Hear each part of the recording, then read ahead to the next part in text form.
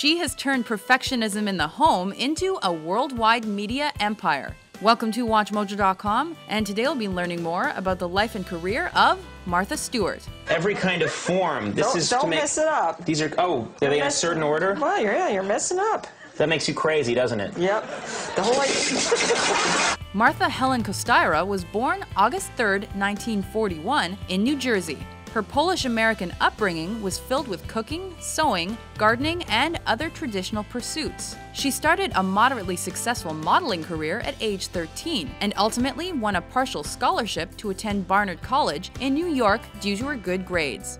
Stewart eventually earned a double degree in history and architectural history. Eventually, she cultivated a talent in business and worked as a stockbroker between 1967 and 72. Soon after, she and her family moved to an old farmhouse in Connecticut. She undertook the restoration of that house, and during that time, she discovered her penchant for decorating. By the late 1970s, she started a thriving catering service. This led to a chance encounter with a book publisher who was impressed with her skills and offered her a book deal. In 1982, Martha Stewart Entertaining was released and launched this domestic goddess's empire. Remember, however you choose to decorate your Thanksgiving table, special touches are always going to be appreciated by your family and your friends. In fact, that book became the best selling cookbook since Julia Child's Mastering the Art of French Cooking. Stewart became famous for her labor intensive recipes and craft projects. Throughout the remainder of the 80s, she released other popular books, including Martha Stewart's Hors d'oeuvres, Weddings, and Martha Stewart's Christmas. In 1990, the first edition of Martha Stewart Living magazine was released, with Stewart acting as the magazine's editor in chief and lifestyle guru. Three years later, Stewart launched a weekly television series that brought her magazine to life, and that was quickly expanded to a daily program, accompanied by various network holiday specials.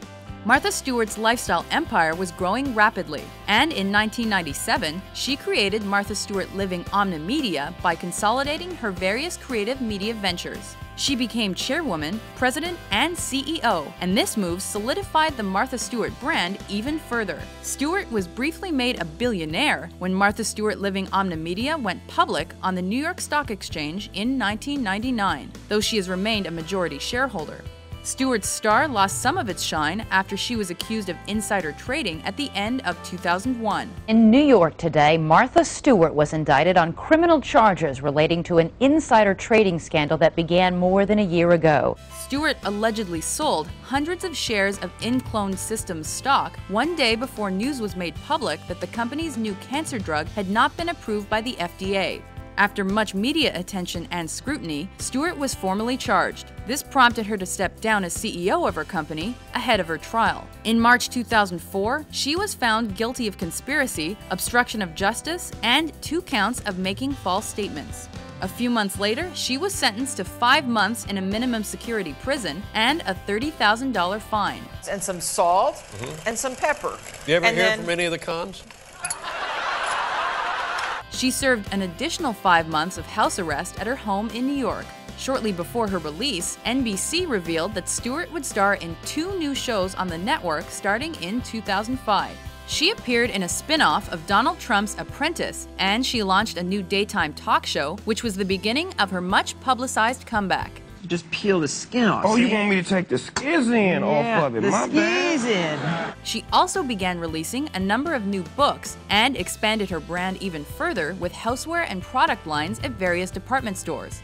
In 2010, The Martha Stewart Show moved from syndication to the Hallmark Channel, and the next year she introduced another new show on that channel called Martha Bakes. Oh, it looks so good. Martha Stewart has been a magnet for criticism throughout her career. Many have felt she set an unrealistic example for working mothers, and that her ideal of perfectionism in the home was a step backward. So, what happens if you're sick? You, then you'd I'm, stay I'm in never sick.